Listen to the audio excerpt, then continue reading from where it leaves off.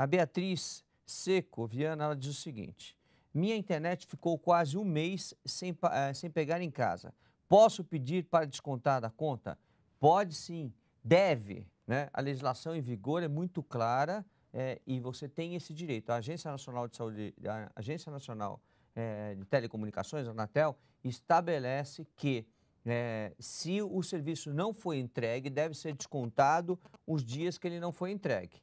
E você só paga os dias que realmente você teve é, o uso do serviço. Está na legislação e caso isso não aconteça, procura a gente que a gente vai tomar providências.